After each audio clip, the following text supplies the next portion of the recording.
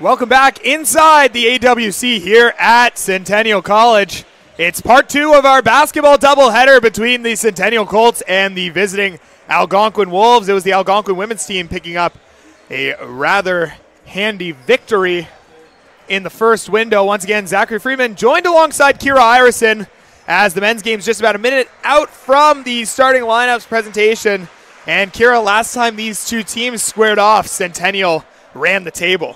Yeah, Centennial didn't have much of an issue against Algonquin. We know last year, late October, 110 to 62 for the Colts on away court.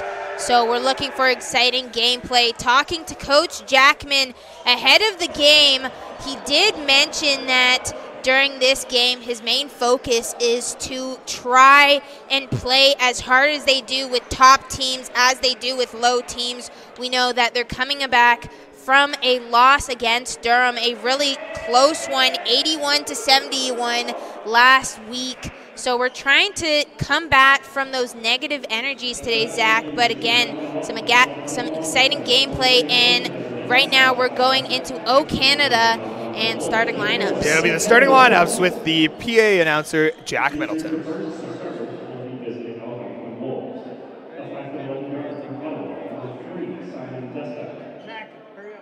A six-foot guard from Brayton, number five, Riley Partington. A six-foot three forward for Ottawa, Lily Valley. A five-foot nine guard from Ottawa, number 15, CJ Galaza. And a five foot guard from Ottawa, number thirty-one, Carter Morgan.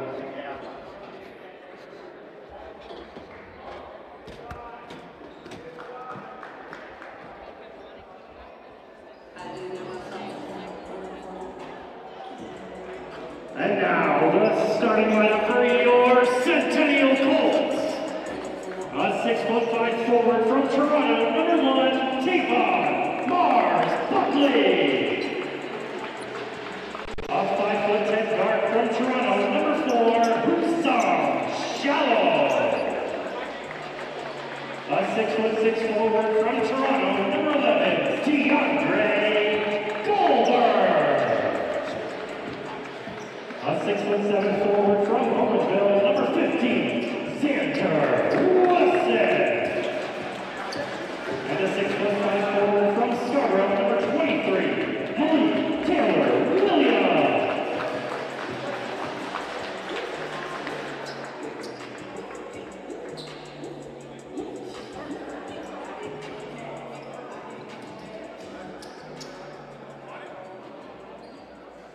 So the starting lineups have been set once again for the Centennial Colts. Omar Nur, who usually starts at that center spot, takes a seat today as this is a very small group from Algonquin, just one player taller than 6'4 on the roster, that being Hunter Holbein.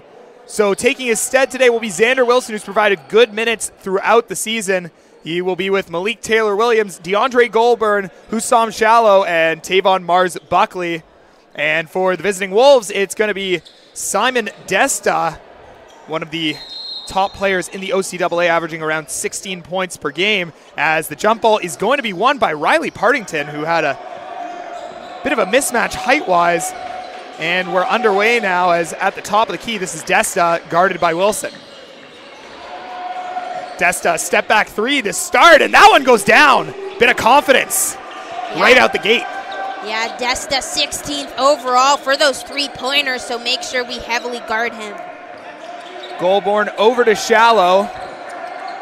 And Goulbourn with it on the far side. His foot comes down on that black line, and ball will go the other way. Turnover on the first possession for the Colts. Bringing up the ball, CJ Galaza, who in the last meeting had 12 points, six rebounds, and five assists. As in the corner, that one was there for Carter Normand, but it went right through his hands. Centennial basketball. 3 0 early lead for the Wolves. Algonquin coming out in a 3 2 zone as driving baseline now Goulbourn inside, trying to find Wilson. That one deflected. Wilson able to come up with it over the top, blocked from behind by Partington. Partington Just 10 games on the season, starting only two of them, draws the start against the third ranked Centennial Colts. And that's going to be a five second violation call on the Colts. So a couple quick turnovers here for Centennial as bringing up the ball, Galaza. Guarded by Goulbourn. And works it inside, but that one just a little too front, far in front of Kendall Valerie. So another turnover. 8.53 left to go, still just 3 nothing for Algonquin. Mars Buckley. Back door, Goulbourn wide open. They get it to him. Now has to kick it back out, and that one well away. But Mars Buckley doesn't hustle back and able to get it easily was Carter Normand, and on the follow was Galaza, but Mars Buckley putting his head down, not expecting anyone to go after it, gives up two points there. Goulbourn behind the back. This 3-2 defense pressing on the perimeter, Shallo, inside, dishes it off to Malik Taylor Williams, and he gets the first bucket, comes up hobbling. Galaza inside, kicks it out. Partington, Norman, three, good! Algonquin with two quick triples, and they've got a six point lead. Similarly to how the women's game was a bit of a trap game for the Algonquin team. Similarly here for the men. Yeah, Zach, but just on three pointers alone, when it comes to Algonquin, they're 33.7% successful, which is pretty on point average when it comes to the Colts. So trying to make sure that we have that strong defense will be the main target today. Mars Buckley from the corner bounces up and in. Tavonn Mars Buckley getting the shooter's roll. And Centennial brings it to within three, still early in the first. Desta skips it over to Normand. Back to Desta, working on Goulbourn. Spins away, baseline, bank shot, no good. Rebound Shallo. Mars Buckley going up and laying it in for two.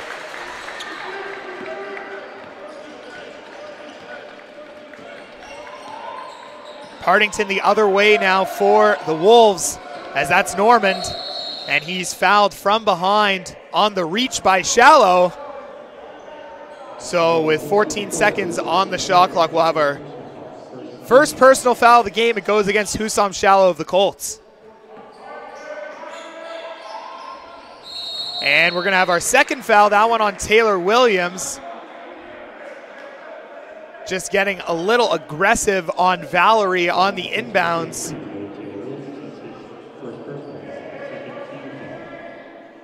As we get 14 seconds set on the shot clock for the Colts in their last time out, it was a pretty good game on their part, but they did end up losing by 11 or correction, 10 points to the Durham Lords, and it all came down to that third quarter where they were outscored 30 to 10.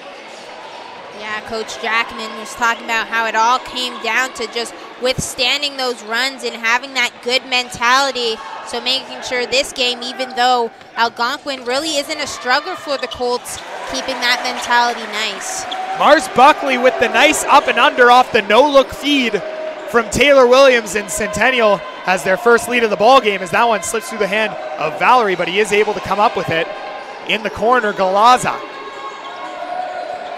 Driving left, kicking out. Valerie for three. That one no good. Long rebound. That one poked out. Taken by Galaza. CJ Galaza going inside, trying the floater. That one disrupted by Xander Wilson, and Shallo will take it the other way. Now to Wilson, inside, contact, no foul, but he gets it to go. Desta the other way. Norman inside for Valerie, and taking a hack at him was Malik Taylor Williams. And Valerie gets the bucket to go, and with two fouls, Taylor Williams will have to take an early seat with 5.34 left to go in the first. And checking in will be Abdullah Sidani.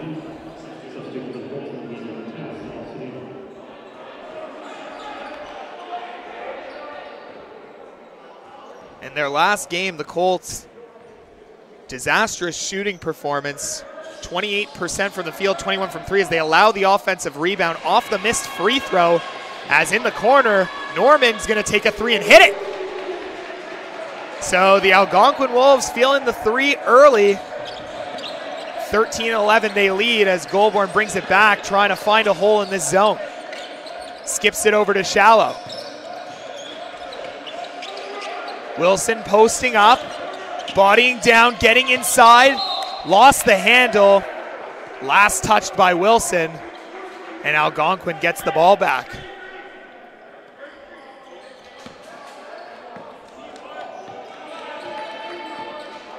As our first substitution is coming for Algonquin.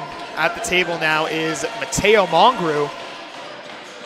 As Desta gets Goulbourn airborne, and he gets the bank shot to go.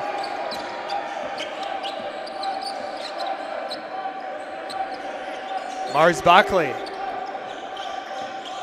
Not a lot of off the ball movement early from Centennial as Goulbourn takes a foul line jumper, no good. Rebound was tipped out by Sudani into the hands of Shallo, and Shallo gets it right back.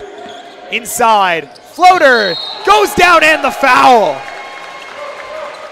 Husam Shallo kind of looks like he lost his footing a little bit heading to the basket, but good body control. Gets it up, and on the way down, he's hit. Goes to the line for a chance at a three point play. Husam Shallo had a good show out on the 20th against the Lords. Dropped 11 points, four assists, and two steals. So keeping that energy up this game. We'll see if he can try and close this two-point gap, 15 to 13 with 4:22 left on this clock. Shallo's free throw goes down. So now it's a 15-14 Algonquin lead as Galaza gets to work. Drives left, wide open in the corner. Partington blocked by Goulbourn. DeAndre Goulbourn flying in from the top of the three-point line. Strong closeout for the rejection. Norman gets Goulbourn to jump that time. It skipped out Galaza. Nice extra pass for Partington but a travel called. Turnover for the Wolves, and Centennial will take it the other way.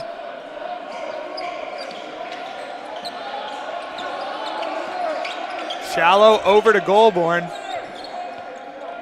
Right back to Shallo for three. Almost looked good as it got a clean swish, but it was just a little short on the air ball. And Shallo gets it right back with eight seconds on the shot clock. Foul called. And Shallo is going to go to the line for two free throws.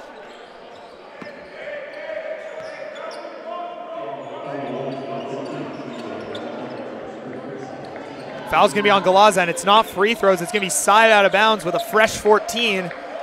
As Shallo will take it to the far side. Thought about the long three, chose not to go for it. Now dishes it off to Mars Buckley, who goes to work with the floater from the foul line. Good. Colts regain the lead as Galaza comes back the other way for Algonquin. Sudani tried to get the reach and an illegal screen called. Turnover going the other way as Simon Desta caught a little body on the moving screen. Centennial basketball and Trevor Costello, head coach of the Algonquin Wolves, not pleased with the call. Costello in his 27th year with the Algonquin program.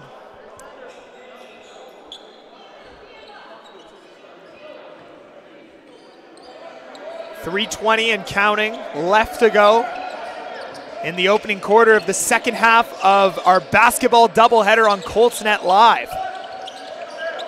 Mars Buckley had the three, chose not to go for it. It's back to Goulbourn.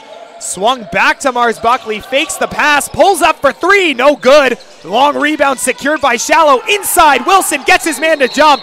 Foul called, and Xander Wilson's going to go to the line for a pair of free throws. Xander Wilson, a good rookie attribute for the Colts, has been having an amazing season filling in the gaps when Nur isn't present. So far this season alone, he is placed 13, averaging about 7.1 rebounds per game with that height. So again, doing wonders for the Colts this season. First free throw goes down for Wilson. Jansen Balmaceda checks in for the first time from the Algonquin Wolves in for CJ Galaza as a lane violation is going to be called on the Wolves. So another free throw coming for Wilson who have a chance to pick up two as Illinois Roberts Farquharson steps up to the table and he's going to check in for the shooter Wilson.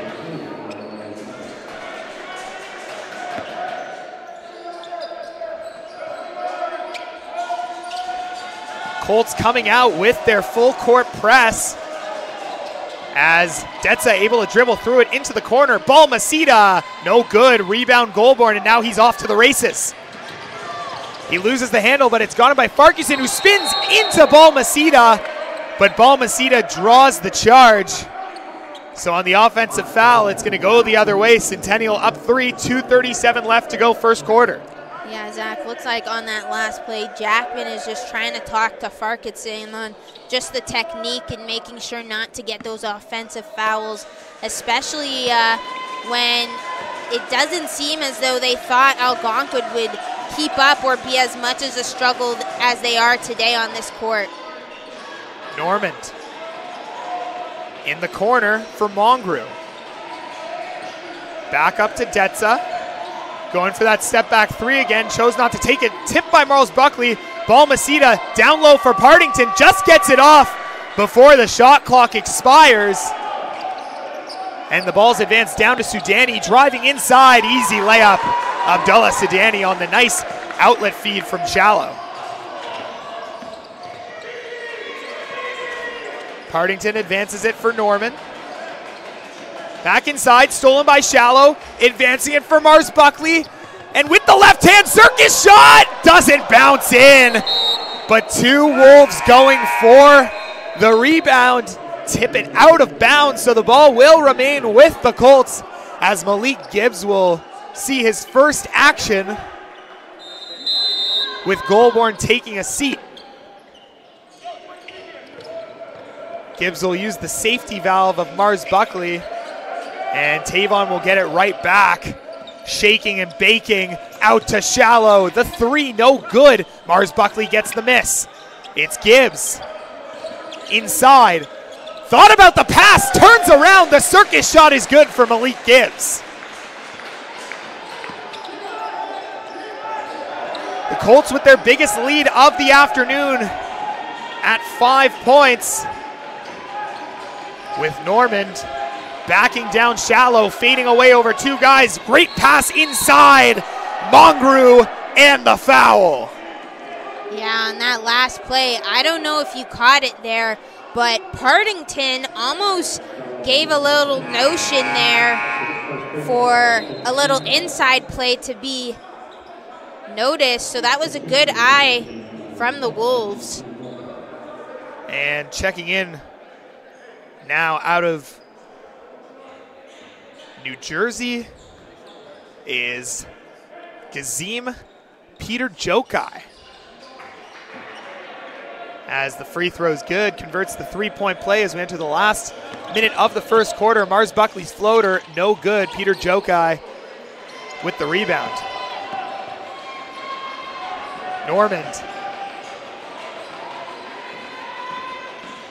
Desta inside, out to Balmaceda. No good on the three, trying to get the tip was Mongru. Rebound Sudani, and Shallo with it in the corner. and he gets it right back from Mars Buckley. Sudani inside, and that's going to be a travel as shuffling his way inside was Abdullah Sudani.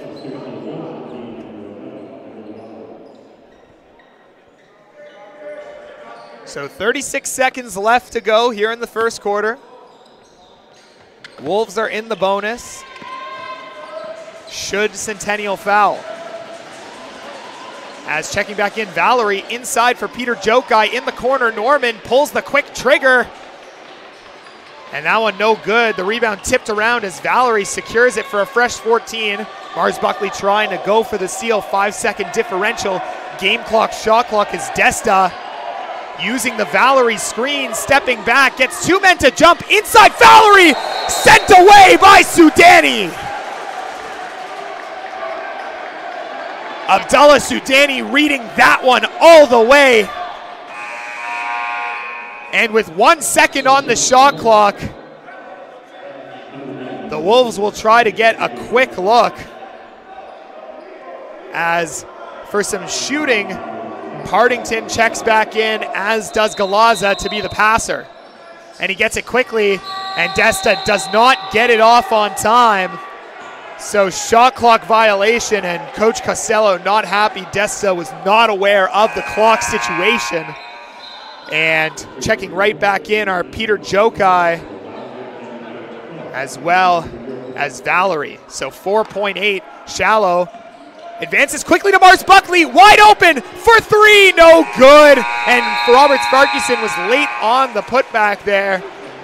So after one quarter, Algonquin, bit of a surprise for Centennial early on, especially that early barrage of threes.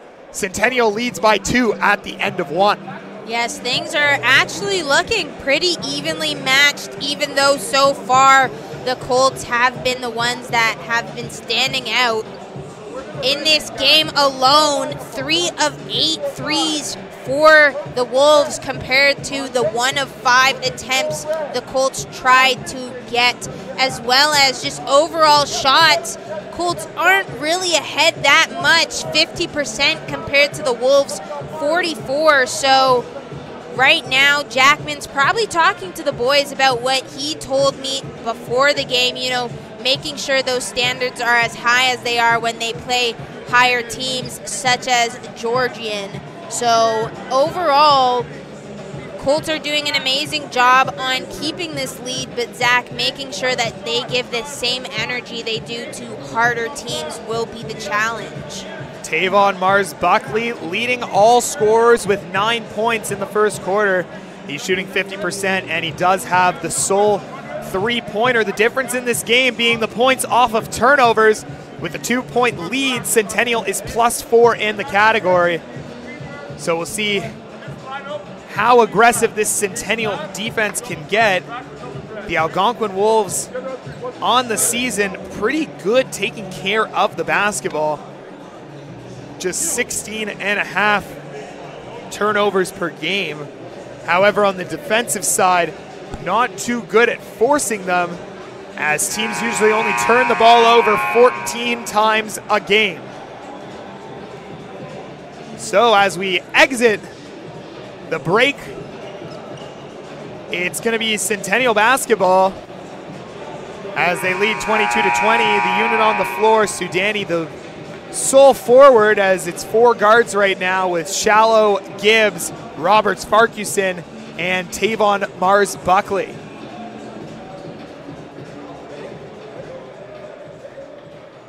A notable per, a notable player who appears to be inactive today is Samuel Wong. Last time the Colts and Wolves squared off, Wong had 31 points and nine assists, missing that influx of scoring and perimeter shooting.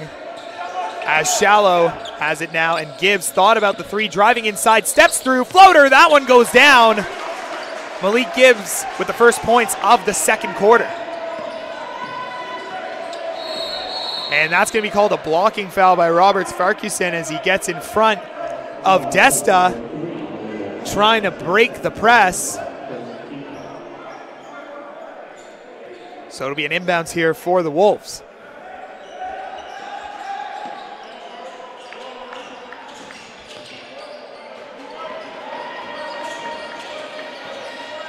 Desta pulling the three. No good. Rebound secured by Roberts Farquharson. In transition, Mars Buckley driving baseline with the right. No good. Rebound Roberts Farquharson puts it up and in. 26 to 20. Colts lead the double team there. Partington, he's got open options instead. Chooses to go on Gibbs. And a late foul called on Malik. So Partington's going to go to the line for two shots. And checking in is going to be Jordan Karp. So a very small lineup on the floor for the Colts. That's going to get a little bit bigger as DeAndre Goulbourn returns. And he checks in for Roberts Farquharson.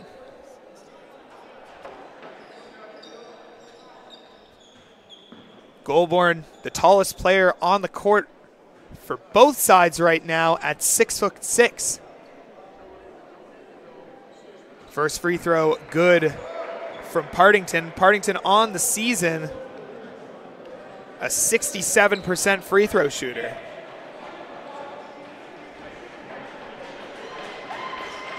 Second free throw, good from Partington.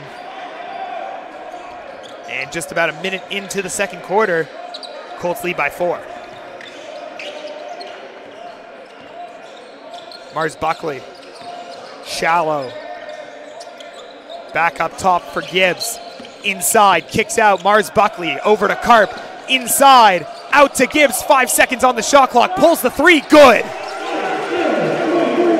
Malik Gibbs with the triple. And Centennial extends the lead to seven. Gibbs having a good turnout so far. Seven points to his name. In the corner, Norman, Contested three pointer. Tough shot. Gets it to go. So Norman on the response. Centennial back on offense. And it's DeAndre Goulbourn who kicks it over to Shallo. On the far side, he finds Gibbs fading away. That one short off the front rim.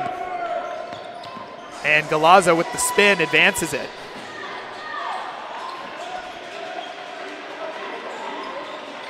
Algonquin will set their offense. Looks like a bit of an ISO look, but now a triple screen here.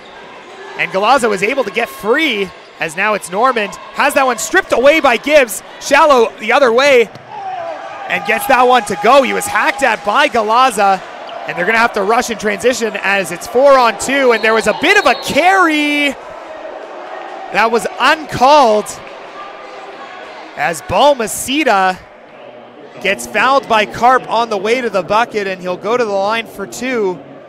But Coach Jackman wondering where the carry was as losing the handle on his way to the bucket was Jansen Balmaceda second year player out of Vancouver, British Columbia, as Simon Desta checks back in.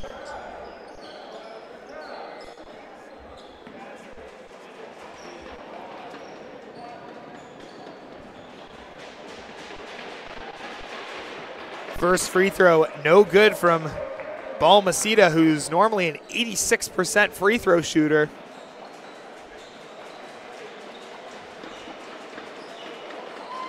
As the second free throw also no good, but the rebound secured by Desta inside on Goulbourn gets it to go. As Xander Wilson waits at the table. If you choose to play down to the small ball, that can be the consequence at times. As Gibbs drives inside, and Goulbourn with it now at the top. Goulbourn trying to kick it out to Gibbs. It was loose, but Gibbs found it. Trying to work on Desta. Over to Carp. He's got the triple, and it gets it to go. Jordan Carp, who averages 2.8 points per game, already surpassing his average with the three. Galazza driving left, stepping back, using the screen of Valerie. Rolling was Valerie and stolen away by Shallo. Karp has options. Gibbs right up and over. As that one no good, but Shallo able to secure the offensive rebound, and the Colts will have a second chance. Goulbourn three, no good. As the rebound was taken by Valerie, and Carp landed right on top of him, so that's going to be a foul. Going to be Carp's second personal. And Wilson will check in for Mars Buckley with the two fouls. Carp will have a seat in favor of Quinton McCarthy. And timeout's going to be called by the Wolves as there are some things on the offensive end they could be doing better as the Centennial lead now back at seven. Yes, Zach, but again, some tremendous performances from the Wolves to try and keep up with the Colts so far. You know, we're talking about the free throws since they have had a lot of fouls on us alone.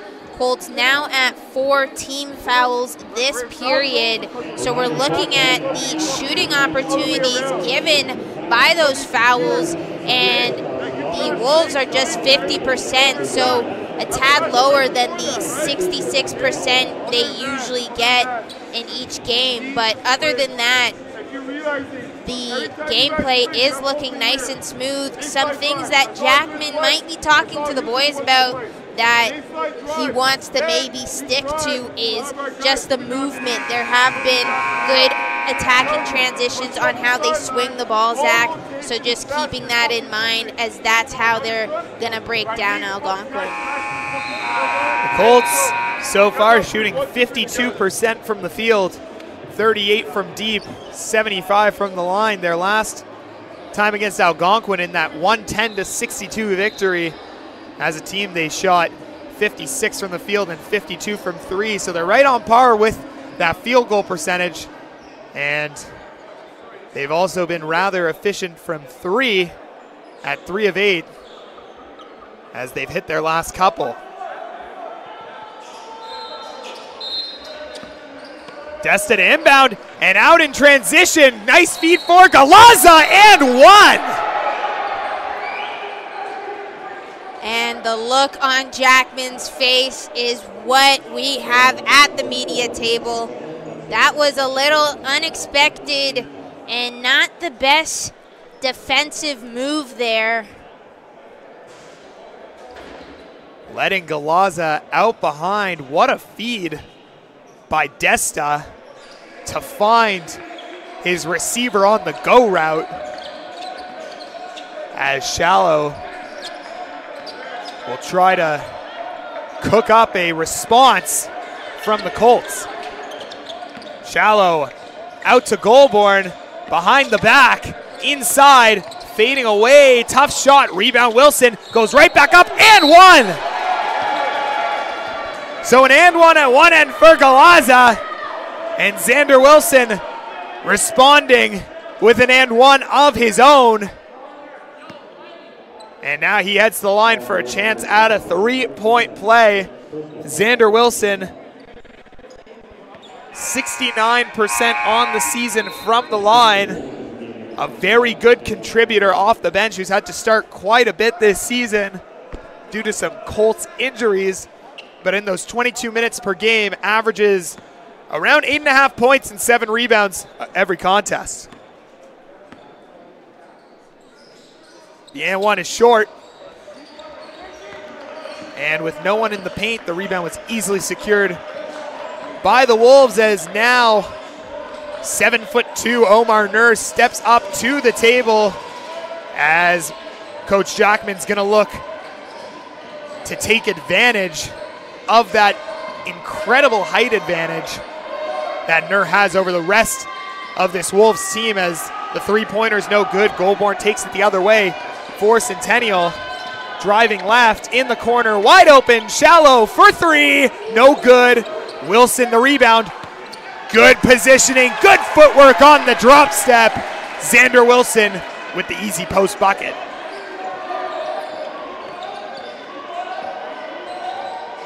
Valerie in the corner, picks up the dribble over to Galaza, works it up top to Desta.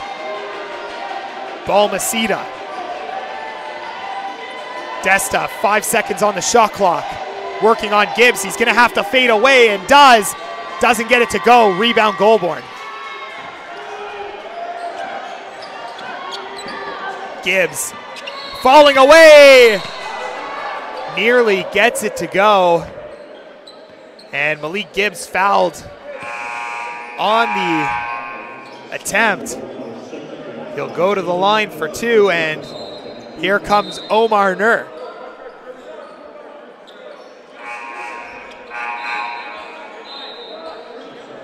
So Nur will check in for Shallo, and Mongru is going to check out for Peter Jokai. And also returning is Norman for the Wolves.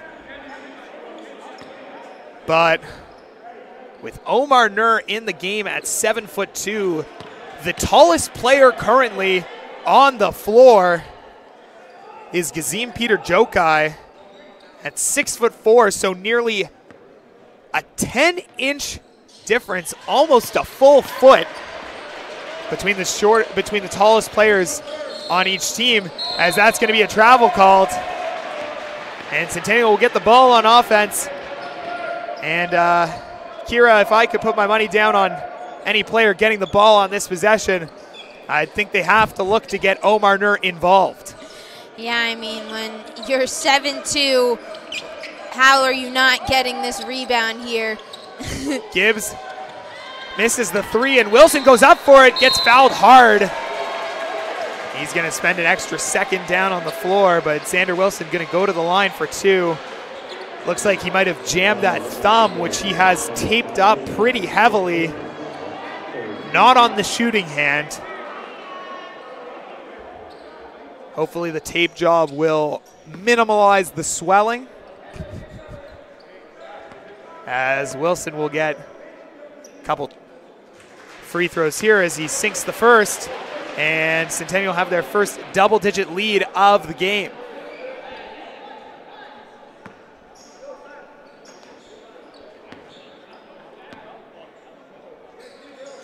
Wilson's second free throw goes down, so 2 2 trip for Xander. And coming back the other way, Peter Jokai gets the three off. No good. Rebound secured by Gibbs, who's actually the smallest player on the court at 5'8. So the Colts have both the smallest and tallest player on the floor. As Nur, no one can touch him. Left hand hook, no good. And that one tipped out of bounds by Wilson. As Jackman is telling Omar Nur to look out for that skip pass to the outside as they're going to look to get as many bodies on Nur as possible when he gets the ball down in that low block. And that's going to be called a travel. So no block, no charge. Instead, it's going to be a walk. And it's going to be a turnover for Algonquin. Centennial will get the ball up 11 with 4.09 left to go in the first half. Yeah, Centennial doing a good job on keeping this lead now 11 ahead here with four on the clock left doing a good job as Goulbourn tries to go up for that three but off the rim. Nur not able to secure it. Algonquin will go the other way off the Goulbourn miss. DeAndre Goulbourn did have 16 points in the loss as that three-pointer was good from Normand. He did have 16 points in the loss, but only shot 5 of 20 from the field. But that layup's good from DeAndre Goulbourn. It's advanced to Norman. Inside, tried to dish it off to Valerie, lost the handle, stolen by Mars Buckley. And the Colts have a three on two in transition. Goulbourn would have to retreat, but he was fouled on the reach. It's going to be called on CJ Galaza. It's going to be Galaza's second personal, and it's going to be the third team foul, correction, the fourth team foul against the Wolves.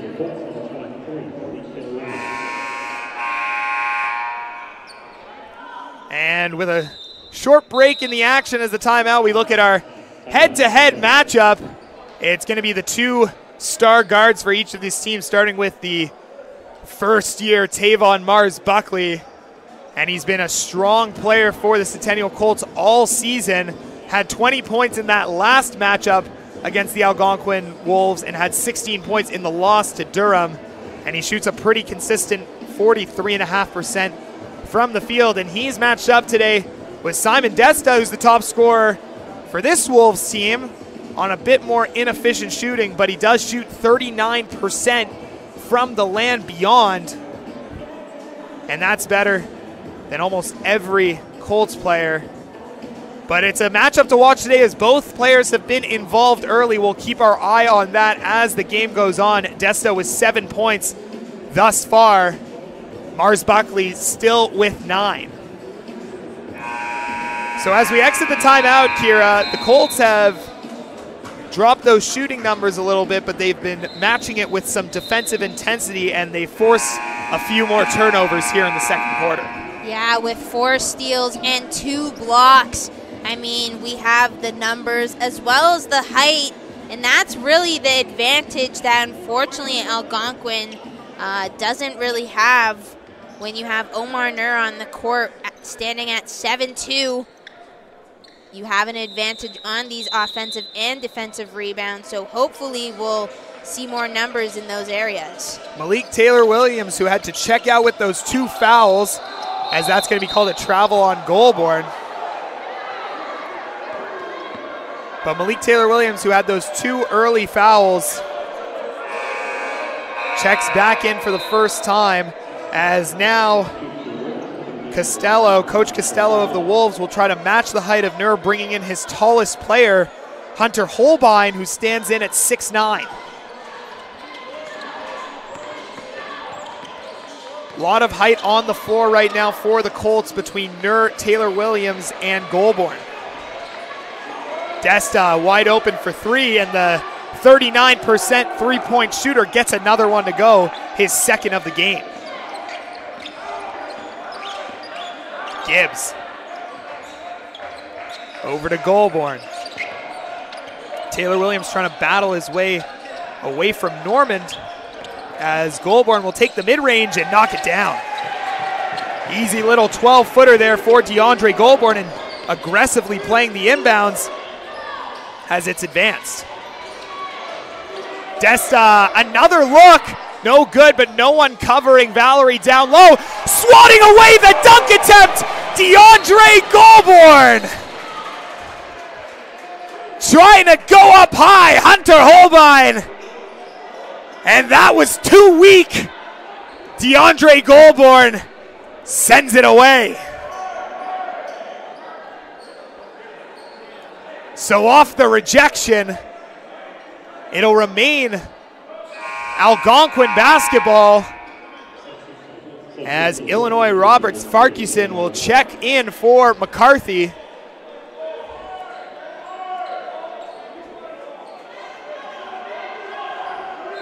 As with 14 seconds on the shot clock, ball's inbounded to Desta, who dishes it off to Balmaceda.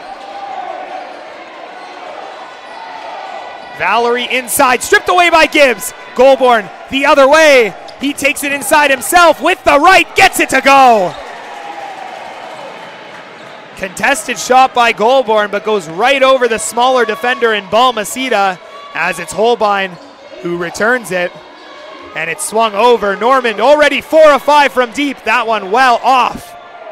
Balmaceda gets the offensive rebound. That one off Balmaceda's foot. And we're going to have a deliberation on that one because we saw it clear as day from up here at the media table. The call on the floor was to give the ball to Algonquin, and rightly so. It is switched to Centennial basketball. Yeah, Zach can't really challenge that when the media team has four cameras up and ready with replays going. So not much to deliberate there. Gibbs. Deep three, no good, in and out. Rebound, Taylor Williams up strong. Holbein with the contact. Malik Taylor Williams heading to the line for two.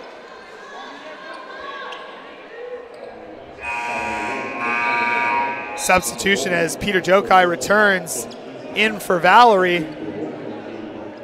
Two free throws coming from Taylor Williams, who hits exactly two thirds of his free throws. Sudani also at the table ready to check in. Taylor Williams missing the first.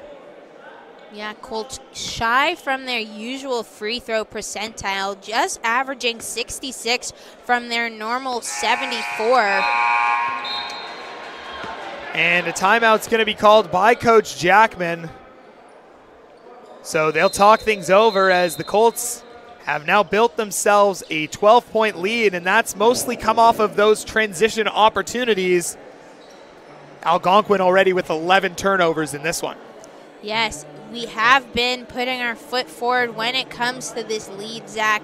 But someone that we still need to watch out for is going to be Desta as well as Balmaceda. Both of them finding success still outside, both on the left and right flanks when it comes to those three pointers. So, really making sure our defense are on peak uh, especially when they have all that space. We can't give it to them. Absolutely. Also, got to look out for Carter Norman, who's four of six from deep in the game. He leads all scorers with 12. Xander Wilson leading the Colts right now with 10. But the Centennial Colts doing an amazing job of taking care of the basketball. Just one turnover so far here in the second corner. Both teams in the bonus for the remainder of the quarter at five team fouls aside. As coming out of the timeout, it will be Algonquin basketball with 139 left to go in the first half.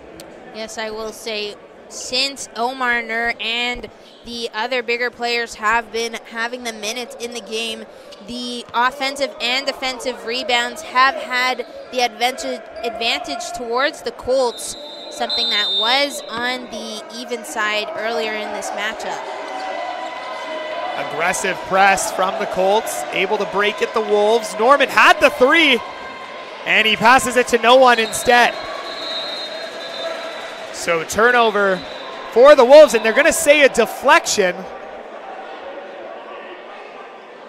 So it's going to remain Algonquin basketball.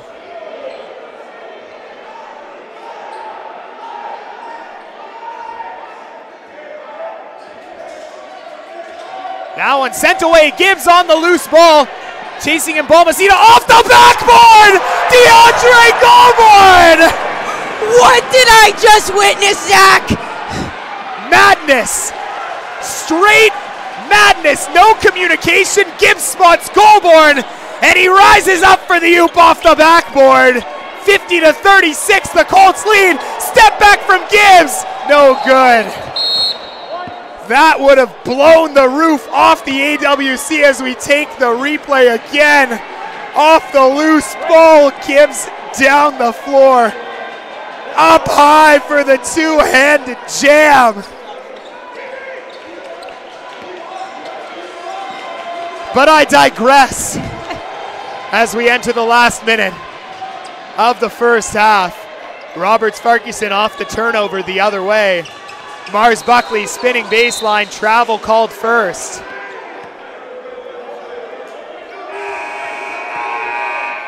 Forty-four point nine to go as the building still reeling from the oop as a timeout is called by Algonquin. I'm still in disbelief, Kira. I mean, I'm just in awe. I think we need another replay. I mean, just look at this, Zach, from getting the ball and just one look behind up, and Goulbourn's there. That athleticism, his height, it just magical. That's that's one way to put it. And that just an infusion of energy for the Colts. Trevor Costello trying to calm that momentum down with this timeout late in the first half.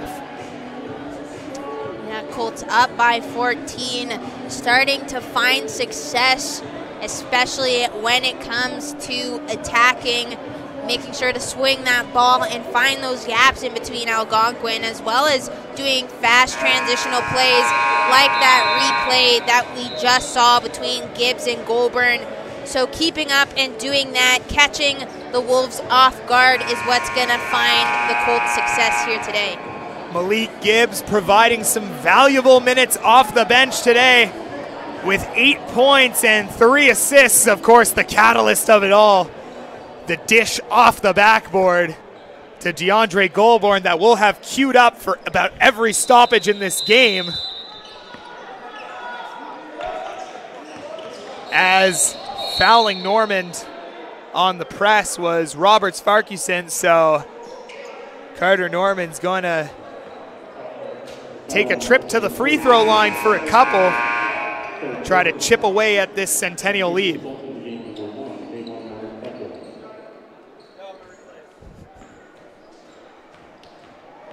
As we take one more look, as the first free throw is no good and short. I mean, it just gets better every time. Uh, I, I can't get sick of it, Zach. Every time the replay happens, you just see details of it that just keeps getting better and better.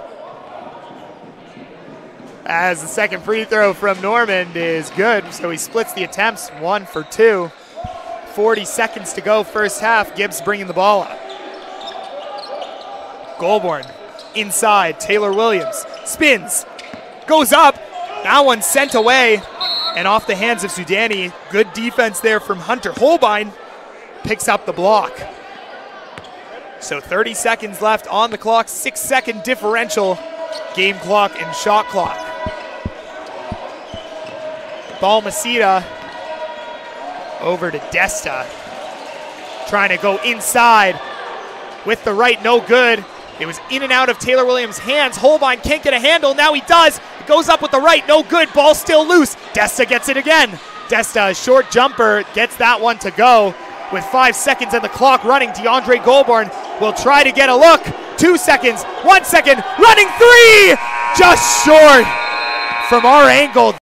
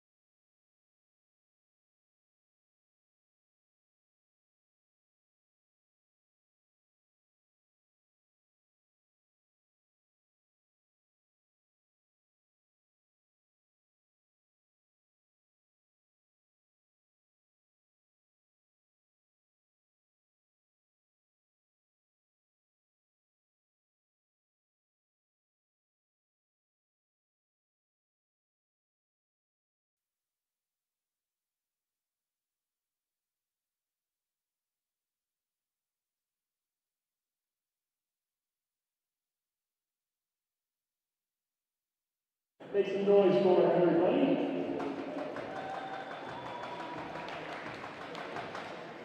We got the second half action coming your way, goal other than this time.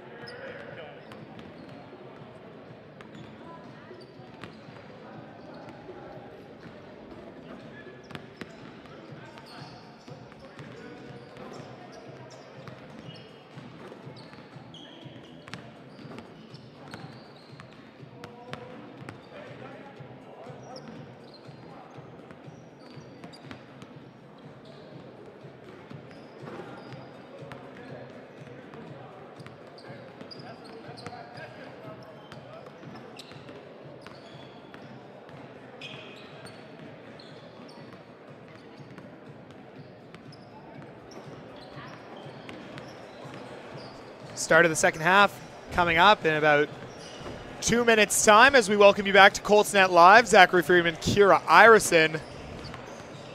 The Colts with an 11 point lead, 50 to 39 the score. And if you missed the first half, then you missed one heck of a play. As we're going to pull it up one more time as Malik Gibbs and DeAndre Goulbourn off the steal combine for the finest play of the Colts season. An alley oop off the backboard for the emotional gut punch as we're about a minute away from the start of the second half. And Kira, the Colts, what seemed like a bit of a dicey first quarter, reasserted the dominance in the second quarter.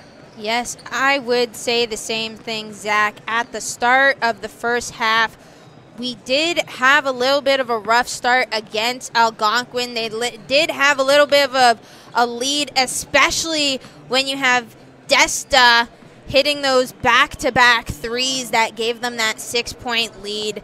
But something that Jackman, Coach Jackman, wanted to work on was how to bring the intensity to lower level teams.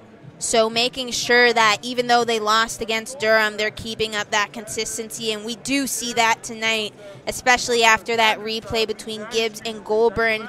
Plays like those, Dak is the reason why the Colts are just finding so much success here today. So hopefully in this second half, we can find more of that.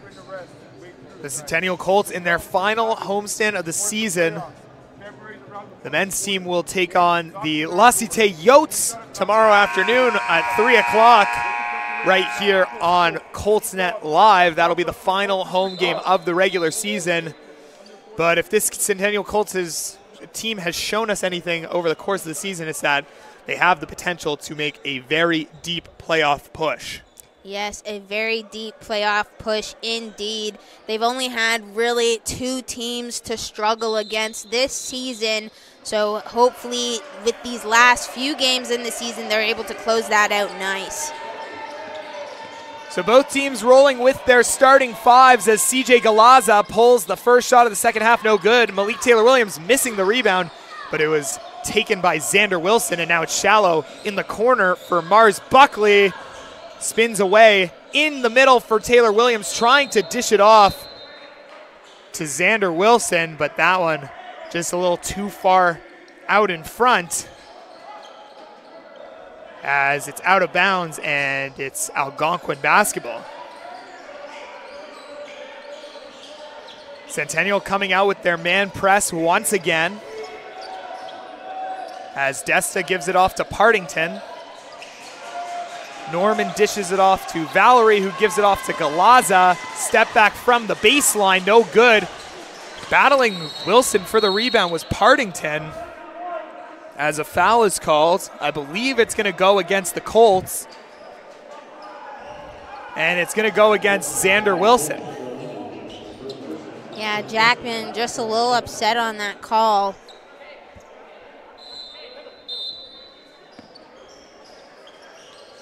On the inbounds, Partington.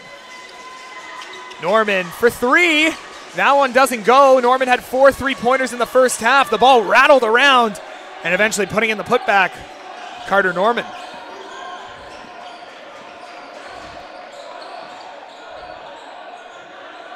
Fifty forty-one, Centennial leads. Goulbourn. Mars Buckley thought about it. Step back. Now goes for it. That one goes down. So despite the hesitation, Tavonn Mars Buckley able to knock down the three.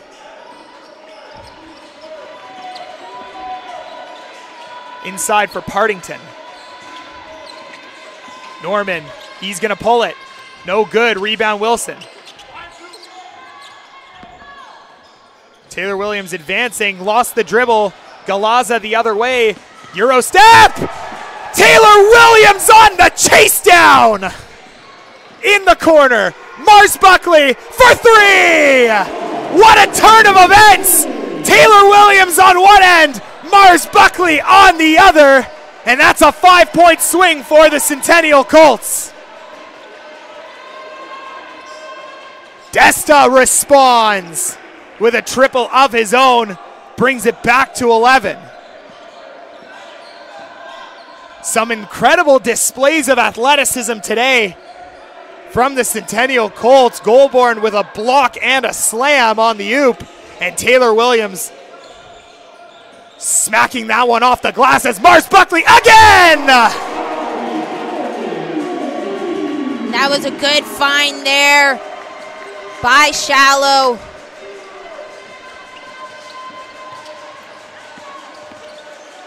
Partington getting inside. And Taylor Williams going down awkwardly. Looks to be okay, but a foul is called on the Colts.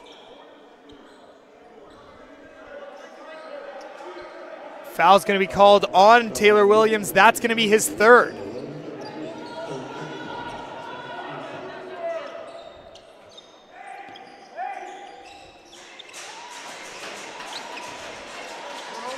Galaza.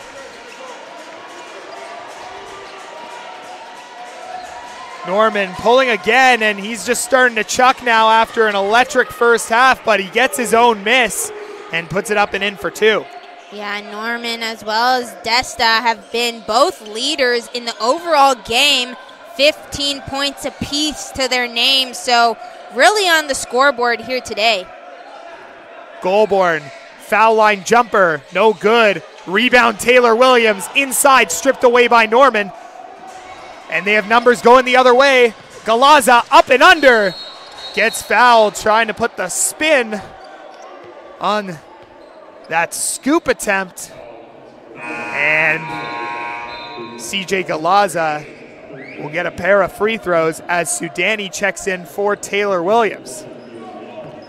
The foul on Shallo.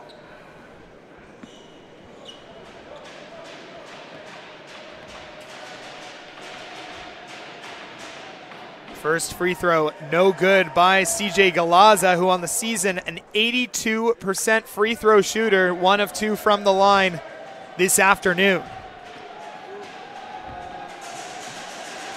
Second free throw, no good. Rebound, Sudani punched away by Valerie, but Goulbourn able to secure the loose ball using the screen of Wilson. A little shimmy around Partington. Gets by Valerie. And a little blow by for the easy two. Desta with a blow by of his own with the left up and in. Game starting to open up as Shallo with some speed. Mars Buckley. And he gets hit. And that's going to be a foul called on the baseline. So it's going to be Centennial basketball. 18 seconds on the shot clock. Foul is on Galaza, his third.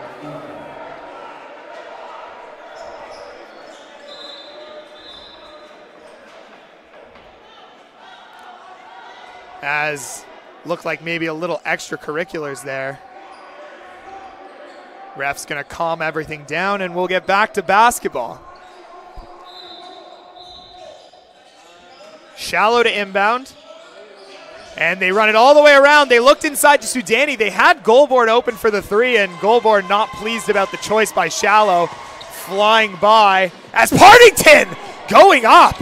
Nearly gets the putback. Riley Partington at just six feet. Trying to end the Colts' lives. Yeah, he had some hops there. Are, are we playing basketball or volleyball here tonight, Zach? Because that was at least one meter.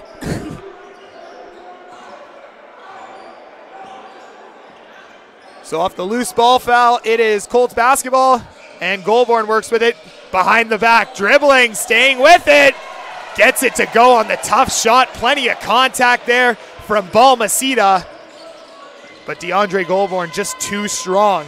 Norman inside with the left, gets it to go. Colts still up 12, five and a half left to go in the third quarter. Mars Buckley lost the handle and had tried to get through, but they're going to call a reach on Norman, and a technical foul is going to be called on Simon Desta.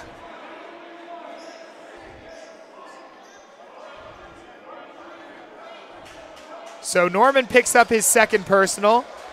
Desta picks up the technical. And Mars Buckley will shoot the technical for the Colts, and they will get the ball right after.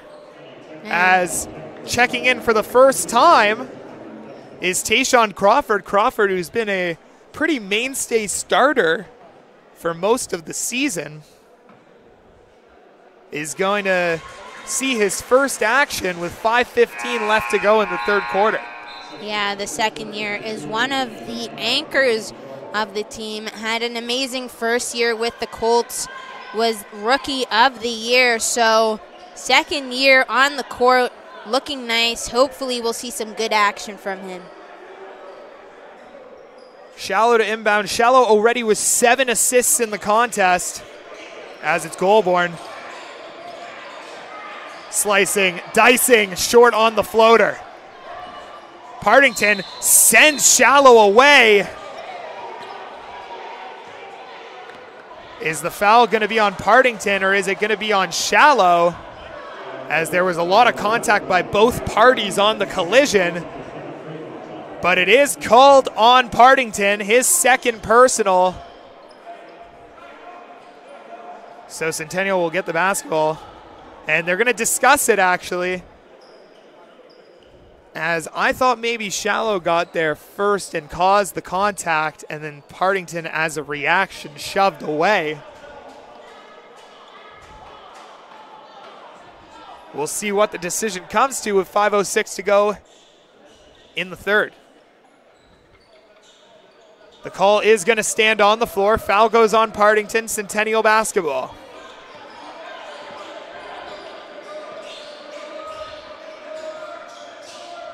Mars Buckley, the three, no good. Partington with some speed starts to go the other way, and he's going to go right into the defense. And Shallo secures the rebound. He's fouled on the way down by Kendall Valerie. And with the Colts in the bonus, Centennial will go to the free throw line. Yes, there's been a lot of assertiveness and aggressiveness in this quarter. Looks as though Algonquin has already had five team fouls, and there is less than four five minutes to go in this quarter. So, not looking too good for them, as that could be an easy opportunity for the Colts to further extend this lead. Shallo today, one of one from the line. A full stat sheet now with 6.6 rebounds and seven assists as he hits the first of two.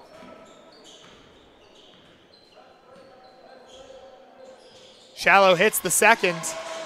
So this lead at 15 now for the Colts, their biggest of the game. Balmaceda guarded by Crawford, retreats, baseline jumper, no good. Partington aggressively going for the rebound, hits it off Sudani. And it remains Algonquin basketball. And checking back in, Mateo Mongru for his first look of the second half. He checks in for Valerie.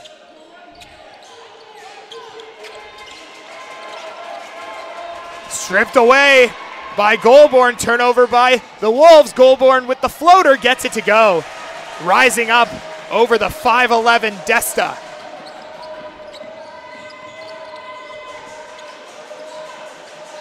Desta swings it to Norman, keeping his balance. Fading away.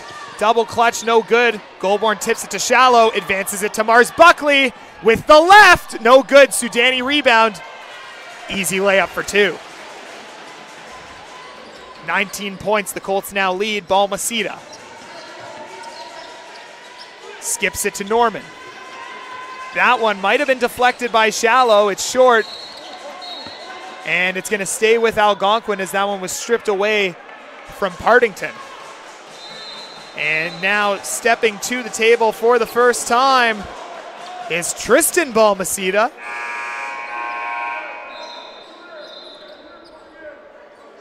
And he's going to check in for Carter Norman.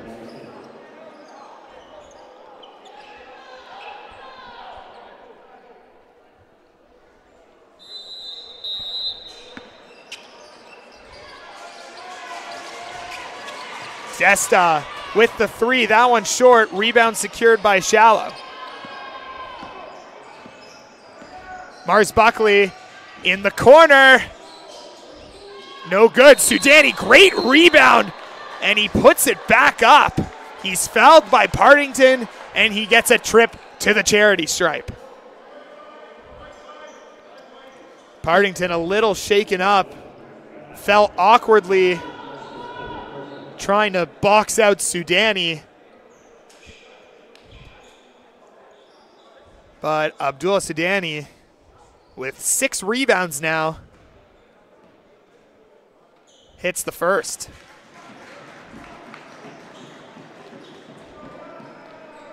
Colts currently with a plus 10 advantage in the rebounding. The Algonquin Wolves with just six defensive rebounds in the game.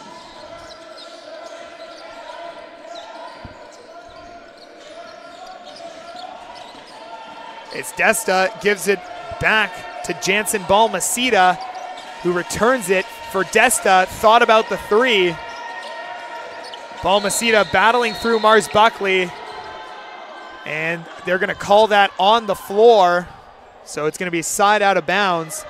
That was the Colts' last foul to give with 3:14 left to go in the third quarter, as they're up 71 to 50.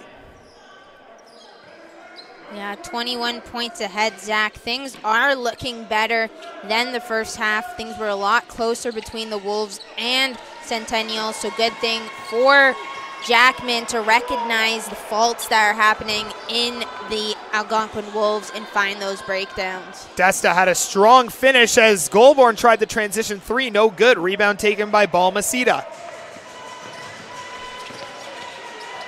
Mongru. Balmaceda to Balmaceda. And the three is good for Jansen on the feed from Tristan.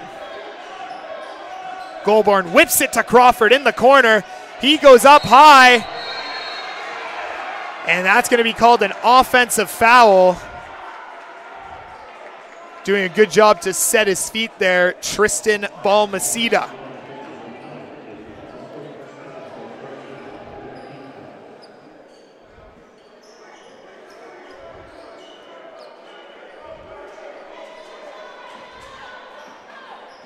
So a little 5-0 run here for the Wolves have brought it down to 16 with two and a half left to go in the third.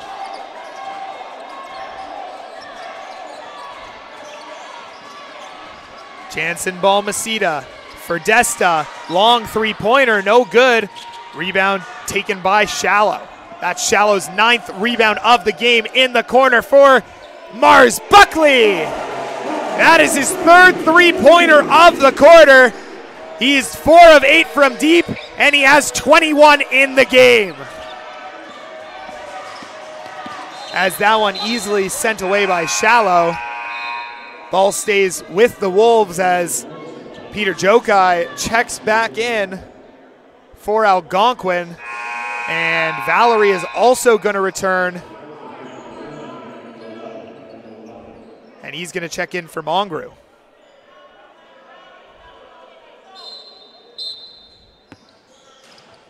Nice play by Crawford to step into the lane and sent it away with some authority.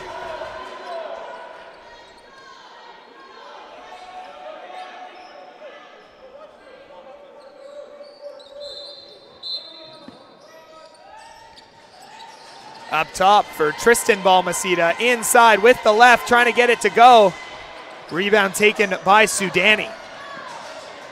In the corner. One more time! Tavonn Mars Buckley's on a heater! And he does a little smiling celebration. And that's how you do it. Round of applause for him. He's clapping on the court. All of these successful shots, Zach, ironically in that exact same position. DeAndre Goulbourn with the foul there as Jansen Balmaceda goes to the line for two. Missed the first as the Wolves trail by 22 after a pair of Mars Buckley threes. Second one up and in. Mars Buckley leads all scorers with 24. Goulbourn asking for the screen from Sudani, but he pulls the three, no good. Long rebound, Balmaceda.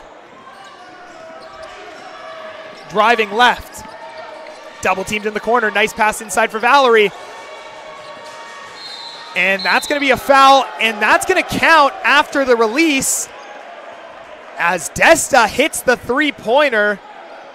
Falling to the floor was, I believe, Kendall Valerie. As the loose ball foul, I believe, is on Sudani. That's his second personal foul. And with a chance for a four point play, Kendall Valerie.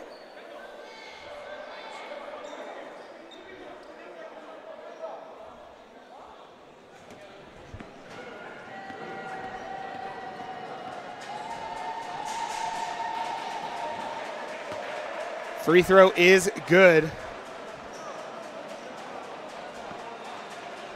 As they're actually going to rule Kira, they got two free throws on that one despite the made three pointer. But the second one was no good, anyways. Yeah, a little confused on that. No one on the court seems Fazed by it. fazed by it, so I'm going to say yes. As Mars Buckley, with under a minute to go, trying to work inside. He's feeling it, kicks it out to Goulbourn, trying his luck from the Mars Buckley corner. It hits the rim, so off the rebound. Sudani tried the three from the opposite corner, couldn't get it to go. Peter Jokai lost the handle, gets it back, gives it off to Desta. Inside, stolen by Sudani. Way to flash from the weak side and block the lane. As there's about a two and a half second, second differential between the game clock and shot clock. As it looks like the Colts are just going to hold on for the final shot of the third. Shallo driving inside, up high! Goulbourn unable to get it to go. Didn't have a clean lane to the bucket. But if he did, that would have been the second alley oop of the game between the Shallo Goulbourn connection. So it tips off of a Algonquin Wolves. So with 4.8 seconds left, Goulbourn's going to pull from the corner. No good. Rebound Balmaceda, and that will end the third. As the Centennial Colts with a strong showing, spearheaded by Tavonn Mars Buckley and his four three pointers in the third, leading all scorers with 24. Colts lead by 17. Yeah, Zach, not much to work on heading into this fourth quarter besides keeping the energy and what they're doing up. I mean, Algonquin struggling to close this gap, you know, despite the fact that they did have a close start between the Colts, kind of making us shaking our boots a little, especially when they had those three pointers and those early leads. But when you have bodies and height to your advantage, that's when Coach Jackman really utilizes those opportunities, like utilizing Nur when they need to, and then bringing in Mars Buckley when the energy is low. I think overall it's been a tremendous, you know, final home game for the Colts and a really good show out to try and get uh, home home turf advantage for these playoff games.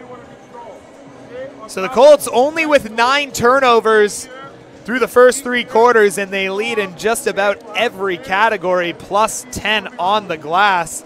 And that includes 13 offensive rebounds, which have led to a good chunk of second chance opportunities. And for the most part, when they get those looks, the Colts don't miss twice. Yeah, the Colts aren't missing twice. I mean, I wish we could put this on again, but just an example earlier on this game was between Gibbs and Goulbourn. Not missing those opportunities and taking those advantages is what the Colts have been doing tremendous this game. So, heading into this fourth quarter, keeping that energy up and closing it out will be the main goal. We got to send that one into House of Highlights. It was that good. Oh, yeah. As we get set for the fourth quarter. I think it needs to be on ESPN. I don't know, like top, top sporting. The top 10? Yeah, top 10 of all time. Of all time? okay, not of all time. You know, player of the week. top plays of all time. Yes, ESPN from Bristol, Connecticut with our top Ontario college play of the week as Goulbourn drives it inside. Doesn't get it to go, but he's fouled and goes to the line for two.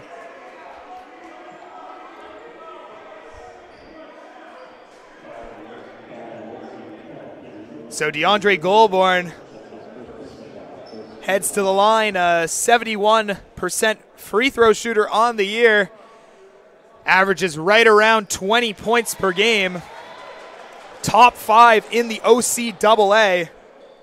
Also on the defensive end, incredibly active with nearly three steals a game as the second one rattles in and out. So he splits the attempts, and it'll be Jansen Balmaceda the other way.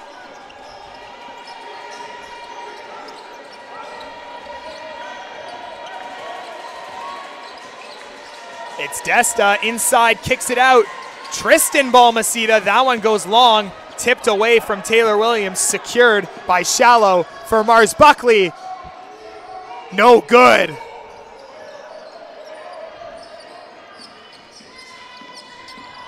As inside, Desta gets the nice roll off the front of the rim on the floater.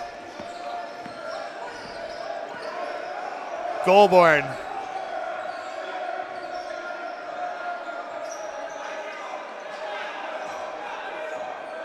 Shallo with 10 on the shot clock. He chooses to pull. That one in and out. Peter Jokai the rebound. Desta works it the other way. Desta has been proving himself this game. 24 points overall, averaging more than his 15.7 points per game. Taylor Williams tried to follow the layup as DeAndre Goulbourn getting up slowly after flying high. I think he went up with the intent to dunk.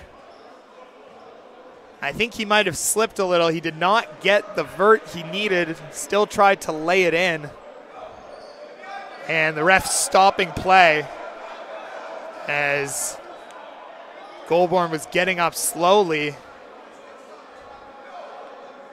We'll see what the conversation leads to.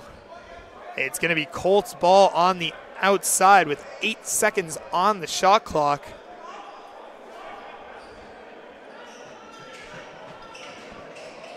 And it's inbounded to Goulbourn. And a foul is going to be called. That's going to be on Nestor Vaval, the third year guard, seeing his first action of the game. So fresh 14 off the foul for the Colts, and it's Shallo. Using the screen of Taylor Williams, gets the switch, working on Peter Jokai. Now it's Mars Buckley inside for Taylor Williams. Trying to go inside, and a travel's called.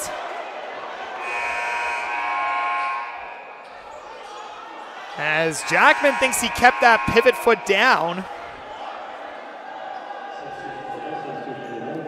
And checking in is going to be Hans in Kogo. Nkogo.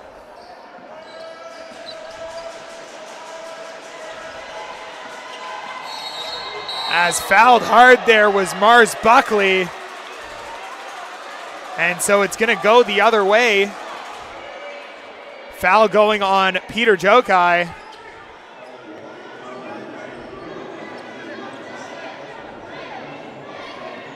And it's Centennial basketball with eight minutes left to go. Colts up 16.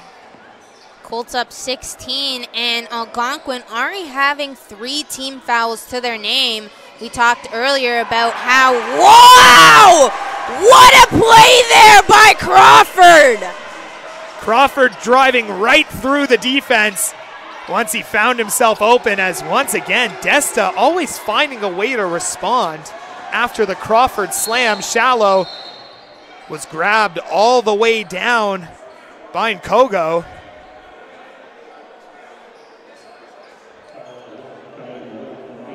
So now the fourth team foul. So next foul brings the Colts into the bonus. As CJ Galaza checks back in for Algonquin. And a timeout's going to be taken by Algonquin. Four fouls, and there is 7.33 on the clock.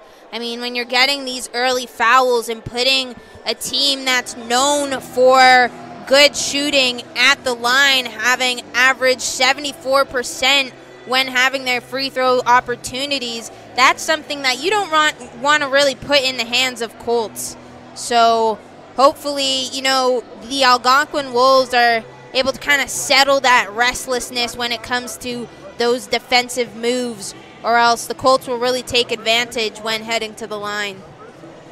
Desta now with 27 surpasses Mars Buckley for the game high. Mars Buckley still at 24. Desta 5 of 11 from deep. Carter Norman also shooting well from deep at 4 of 11. He's got 19, but he's definitely cooled off from that first quarter that saw him hit 4 of 6.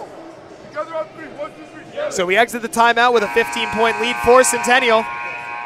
And of course, those four team fouls looming over Algonquin. And it could mean a lot of free throws late for Centennial.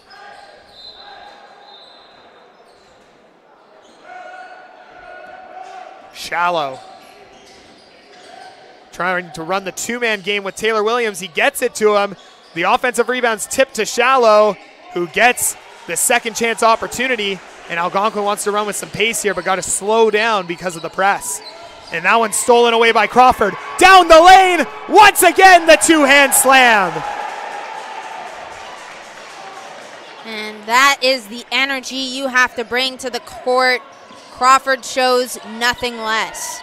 Crawford battling Vaval down low as it's Desta. Gets it over to Balmaceda. Long three pointer. No good. Long rebound out of bounds. Centennial basketball. Peter Jokai returns for the Wolves, checking in for Desta, who's going to take a seat in what's been an incredible game for the senior out of Ottawa.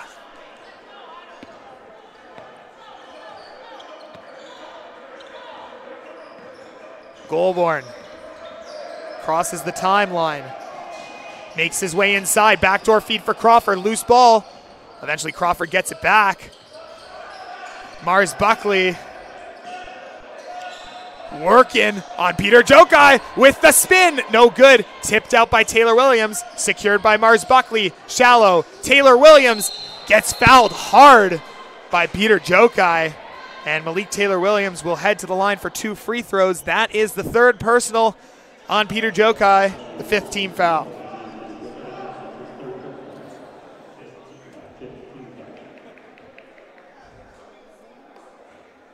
Taylor Williams, one of two from the line in the game, hits the first, and the lead is back at 20. Yeah, Taylor Williams has had a good show out so far this this game. Four points now with two rebounds and two assists. Now five, so overall doing really good for, for himself attacking wise. Partington returns for Peter Jokai. As Galaza will bring the ball up the floor. And he's got a lane and chooses to take the jumper. It was blocked by Taylor Williams. Galaza Now working on Crawford once again, stepping back, gets the tough fall away jumper to go. Shallo for Crawford. In for Taylor Williams. Swings it over to Goulbourn, checked his feet, now drives inside, out to Mars Buckley. Jumper short, Shallo stepping on the line, coming down with it. Shallo on triple double watch with nine points, 11 rebounds, and eight assists.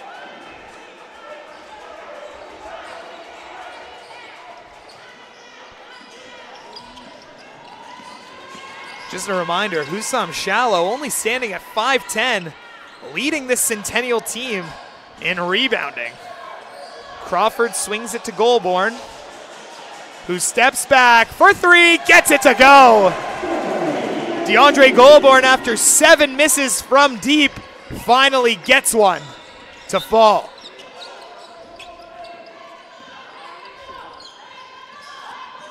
Galaza thought about pulling it, now gets it inside for Partington. Spins around Shallo for the easy layup. 89 69, five minutes to go, fourth quarter. Goulbourn with it. Retreat, step back, one more time! DeAndre Goulbourn's got his mojo back.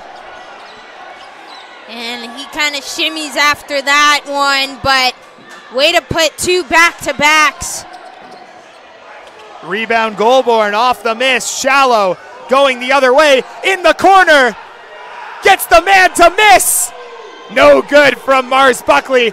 Goulbourn out to Shallo, back to Goulbourn. Heat check coming. Shakes and bakes. Nice feed inside to Taylor Williams. Gets the foul. The crowd's going crazy as DeAndre Goulbourn is feeling himself right now, doing whatever he wants here at the AWC. And now those stars today for the Centennial Colts, much to the chagrin of Colts Nation in attendance. Goulbourn, Shallo, and Mars Buckley will take seats for most likely the rest of the game as Taylor Williams hitting the first free throw extends the lead to 24. Yeah, good show out from the three. All of them did an amazing job on just finding movement and breakdowns within the Algonquin defense to break on those laneways and just bringing the energy. I mean, we I still can't talk about the Goulbourn and Gibbs movement there as McCarthy gets hit down hard. Partington may be small, but he's a thick guy, and when you collide with him, you go down hard, and that's exactly what happened to Quinnen McCarthy there as he picks up the foul, and, uh, and Partington will have a chance at a three point play. Yeah, I mean, we're talking about how Husam Shallo is one of the smallest players on the team, but has the most rebounds for the Colts. I think Partington is utilizing his body, probably one of the best players on the court beside Desta. Taylor Williams guarded heavily by Partington in the corner. Gibbs for three, no good. Taylor Williams turning around and celebrating already. He's laughing at the other end of the court as going the other way Nkogo. And deep three, CJ Galaza. And a timeout's going to be called by Coach Michael Jackman. Never mind, it's an inadvertent buzzer. Yeah, no, Coach Jackman's putting his hands in the air like, I called a timeout. So the timeout will come. As he'll talk things over, wants to get some good minutes out of his reserves. Going to go over some systems most likely as the unit on the bench looking like McCarthy, Gibbs, Carp, Taylor Williams. And I believe Illinois Roberts Farquharson is the fifth man on the bench. He is.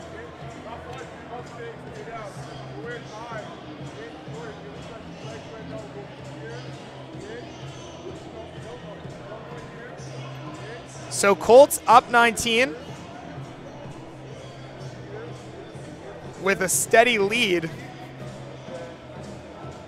as Centennial will most likely be advanced, improving, I should say, to 11 and 4 on the season, which gets them back in that potential second place conversation, which would be huge come the cross divisional play, having to take on a seven as opposed to a six from the Western Conference.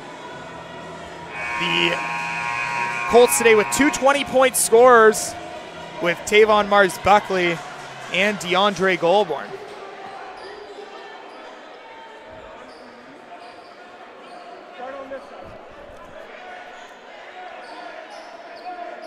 So it's a full reserve unit in, aside from Taylor Williams, who got the start today. As Farquharson gets a little aggressive there, him and Galaza get into it. As he kind of threw Galaza down over, so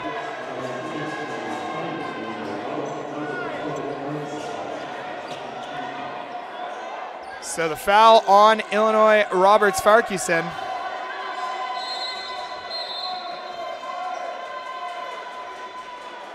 And a technical foul is going to be called on Roberts Farquharson after the foul call.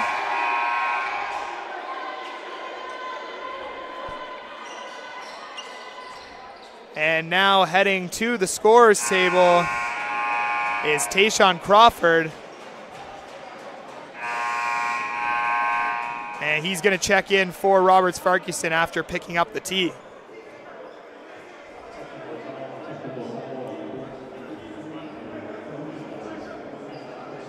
So shooting the technical three throw will be Jansen Balmaceda, who on the season has hit 86% of his opportunities. As the refs are going to have a conversation. Not sure if it's regarding the shot clock.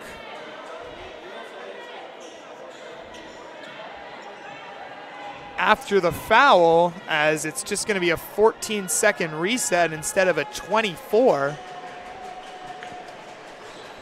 But we will now have, after a long period of time, finally, the technical free throw, which does not go down.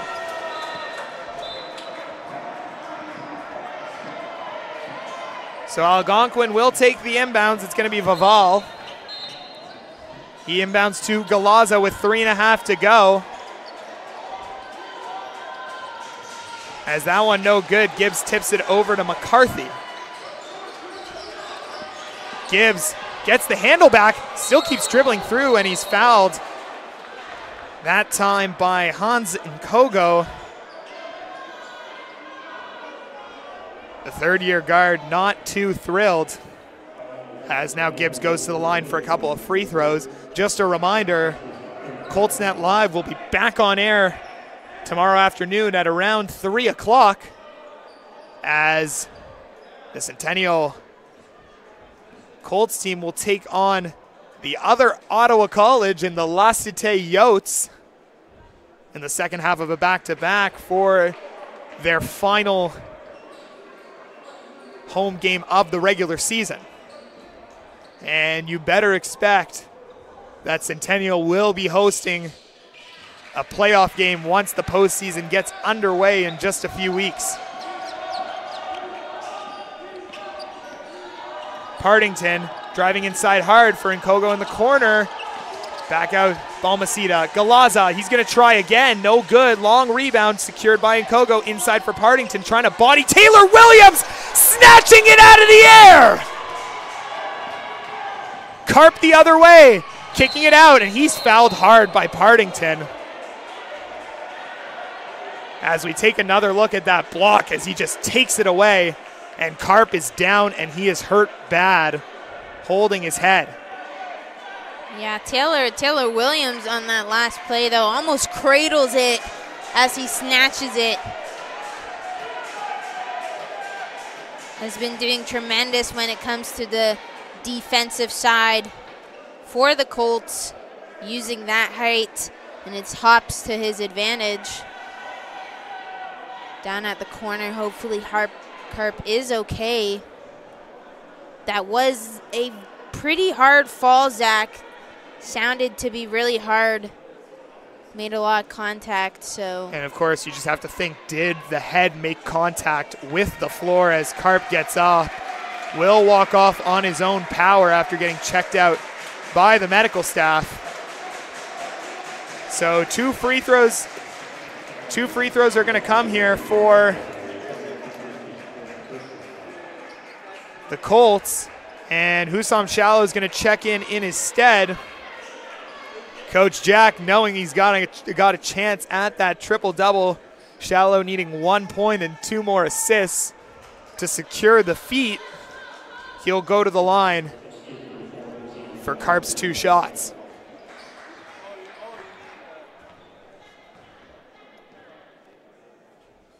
Shallo makes the first.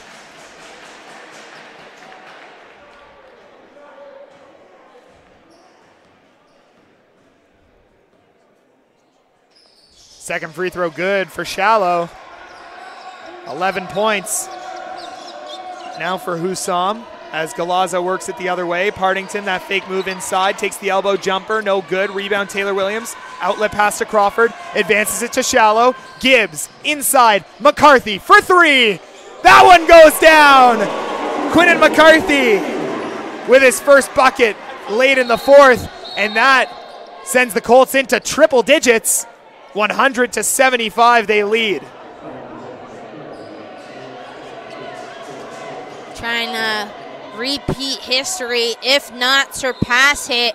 Last time Colts played the Wolves, they had victory 110 to 62 with 232 on the clock. Zach, do you think we can bang out 10?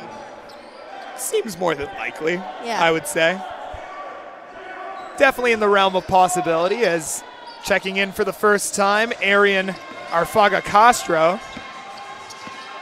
gets it over to Nkogo. Up top, Valet. Balmaceda in the corner for Castro. No good. Well short. Quinnen McCarthy with the rebound. Crawford lobbing it up to no one, but it goes to Gibbs, who kicks it out. McCarthy trying again, gets it to go. So the first year gets two oh three pointers late, 103 75. As Carp's back at the table, that's a good sign to see as Castro's got it on the far side, kicks it out. Valet. Correction, Vaval. As Gibbs takes it the other way. Guarded by Castro. Shallo for McCarthy. He's going to try again! Oh my gosh, Zach! Look at this replay. Every single play that McCarthy has had at that exact right point at the three point line, he's just banged it in. That also Husam Shallo's ninth assist of the game. And he knows it too. He's getting subbed out for Carp. Oh, Shallo knows it, stretches out his arms wide as the Centennial Colts been in the kitchen all night long. They've been cooking from three point range as they now lead by 31. As this one is just about under wraps. Yes, some pretty impressive shooting from the Colts at the three point range. Now averaging 38% at the three point line, more than their season average, which is just around 30%. So looking real nice. We've had a lot of good plays at that three point line from Mars Buckley and now McCarthy. A few little shimmy shakes from Goulbourn there. So some really good plays there. So coming out of the timeout, Shallo does return to the floor. He's got a minute 16 to try and rack up that 10th assist. As with the 31 point lead. It's going to be Algonquin basketball.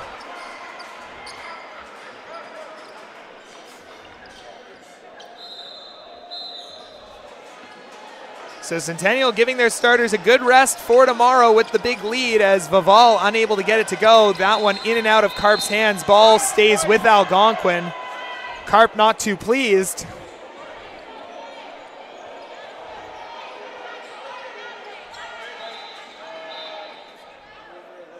As we have two Wolves prepared to inbound, but it's going to be Balmaceda. Vaval whips it over. Castro for three. That one no good. Vaval saves it. Carp gets the rebound, and Carp gets fouled. And So Jordan Carp's going to go to the line for two free throws. Husam Shallo looking a little antsy here, really wanting that 10th assist to close out an see, amazing he's hiding, he's hiding a smirk. Oh, yeah.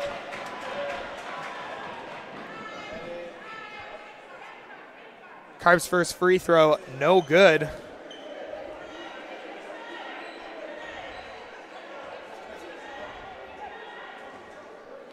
Exactly one minute left to go. Second free throw goes down. All eyes will be on Husam Shallo should the Colts get the ball back. Vaval, he's going to pull the three. No good. Long rebound. Shallo takes it the other way. Looking for the pass to Carp with the left. Oh, he doesn't get it to go. Long pass for Balmaceda the other way. Inside. Gets it to go. So one more chance for Husam Shallo to rack up the 10th assist. Inside. Taylor Williams gets it to go. And everyone on the Colts bench up and celebrating as Husam Shallo with the 10th assist records the triple double. An incredible showing from the guard. As now, with that rebound, that'll just about end it. Once Shallo crosses center. As now, with eight seconds to go, Gibbs is just going to hold on and dish it off one more time as we hit triple zeros.